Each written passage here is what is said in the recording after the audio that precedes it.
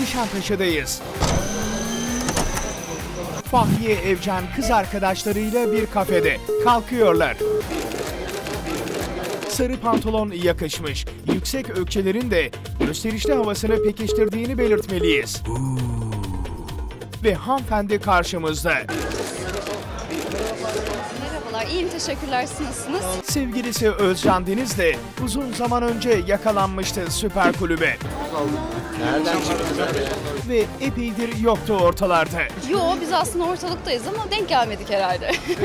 Sarı pantolonu göz kamaştırıyor. artık bahar geldi, yaz geliyor. Artık renklendik yani. Öyle renkli renkli geziyoruz. Bu pantolonun altına mavi ağırlıklı ayakkabı seçmesinin nedeni ne acaba? Yoksa Fenerbahçe Fenerbahçe. Hiç benim var ya futbolla hiç aram yoktur yani.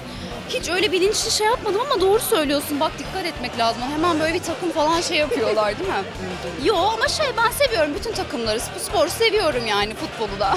Dönelim Özcan Deniz'e. Sen aşk çiçek böcek Güneş Beyefendinin senaryosunu yazdığı, yönetmenliğini yaptığı Evim Sensin adlı filmde başrolde. Alnımıza yazıldı yar bu kara yasin. Biz normalde Mayıs ayında çıkacaktı film.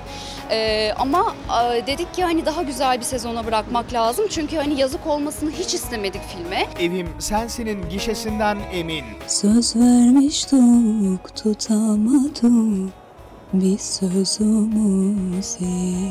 Düşünülenden çok çok çok daha güzel bir şey çıktı. O yüzden Kasım ayında çok güzel bir film e, bekliyor sizi. Bu hikayede evli bir çifti canlandırıyorlar. Ya gerçekte nereye gidiyor ilişkileri? Arkadaşlar hiç böyle ayaküstü ben özel hayatla ilgili hiçbir zaman konuşmadım. O yüzden de hani affedin beni. Ben genelde hani çok da konuşmuyorum. Çok teşekkür ederim. Yaprak dökümünden sonra yer aldığı dizi projesi Ama artık bu bebeği istediğimi biliyorum. Lütfen buna engel olma. reytinge kurban gitmişti. Yeni bir proje var. Şimdi Haziran ayında e, sanırım başlayacağız çalışmalarına. Bu arada kolyesine övgü mutlu ediyor. Teşekkür ederim. Te- Teşekkürler. çok mersi. Teşekkür ediyorum. Kolay gelsin. Çok teşekkür ederim. Pantolonlarıyla Nişantaşı'ya renk katıyorlar.